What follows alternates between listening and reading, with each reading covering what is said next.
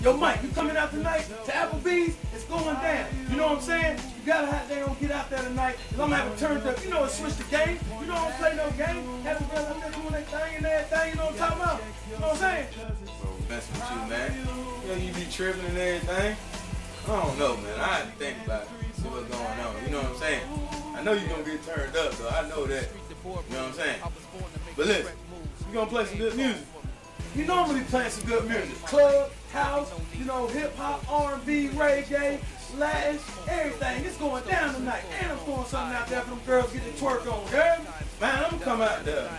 Don't be don't be tripping and all that, man. You know what I'm saying? Playing all that twerk music, jumping out there on the floor with them girls, doing a line dances and all that stuff. I know how you get.